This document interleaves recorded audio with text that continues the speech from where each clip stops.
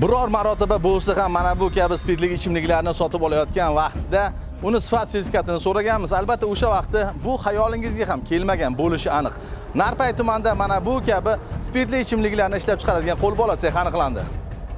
Davlat standartlariga mos kelmaydigan usullar orqali turli mahsulotlar ishlab chiqarish ham qonun tomonidan taqiqlangan. Ham insonlar salomatligiga salbiy ta'sir ko'rsatadi. Samarqand viloyati ichki ishlar boshqarmasi uyushgan jinoyatchilikka qarshi kurashish boshqarmasi hamda davlat xavfsizlik xizmati viloyat boshqarmasi xodimlari hamkorligida olingan tezkor ma'lumotga asosan narpay tumani hududida tezkor tadbir o'tkazildi. Unda 21 yoshli fuqaro yashash uyida noqonuniy qo'lbola usulda yasalgan 36 xil turdagi spirtli ichimliklar ya'ni 989 dona aroq 16 dona vino 8 dona shampan va 70 litr qadoqlanmagan spirtli ichimliklar aniqlanib tegishli tartibda hujjatlashtirib olindi.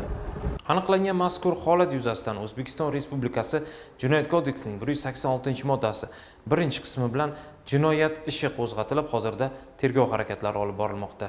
Qo'lbola usulda ishlab chiqarilgan mazkur spirtli ichimliklar nini insonlarga turli kasalliklarni keltirib chiqarmagan deysiz. Yana qancha odamlarni zaharlashi mumkin edi? Mazkur shaxsning qilgan ishi yuzasidan jinoyat ishi qo'zg'atilib hozirda tergov harakatlari olib borilmoqda. Kim qilmagan kim topmagan deyishadi.